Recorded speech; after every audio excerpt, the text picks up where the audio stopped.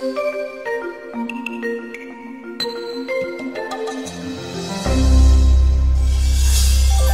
Mega brother నటుడు నాగబాబు ముద్దుల తనయ నిహారిక వివాహం చైతన్య జొన్నలగడ్డతో అంగరంగ వైభవంగా జరిగింది.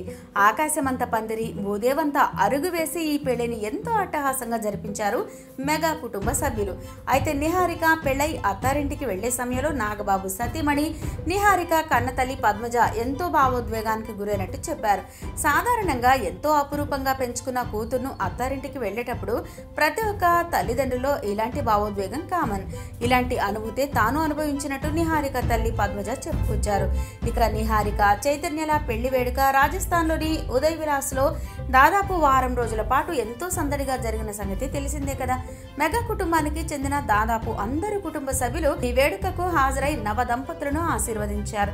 ఈ సందర్భంగా నాగబాబు సతీమణి పద్మజ మాట్లాడుతూ నిహారిక పెళ్ళై అత్తారింటికి వెళ్తుందంటే ఇప్పటికే నమ్మశక్యంగా లేదు అందరూ తల్లిదండ్రులు మాదిరే మా కుటుంబం నిహారిక పెళ్ళిని అంగరంగ వైభవంగా చేయాలనుకున్నాం. అలాగే నిహారిక పెళ్ళి ఎలాంటి ఆటంకాలు లేకుండా జరగడంతో మేము ఎంతో ఆనందంగా ఫీల్ అవుతున్నామన్నారు. నిహారిక పెళ్ళి మూడు రోజులు ఉందనగా నాకు విపరీతమైన జ్వరం వచ్చింది. నా భర్త నాగబాబు కుమారుడు వరుణ్ తేజ్ అన్ని పెళ్ళి పనులు దగ్గరుండి చూసుకున్నారు. ఇక పెళ్ళి సందర్భంగా నా చిట్టి తల్లి నిహారిక ఆనందానికి అవధులు లేవని చెప్పుకొచ్చారు. ఇక వివాహాలు స్వర్గంలో నిశ్చయం అవుతాయని మన పెద్దలు చెప్తూ ఉంటారు. నిహారిక చైతన్యల జంటను చూస్తే అది నిజమే కాబోలు అని నాకు అనిపించింది. వాళ్ళిద్దరూ చూడు చక్కగా ఉన్నారు. దాదాపు ఇద్దరి అభిరుచులు ఒక్కటే.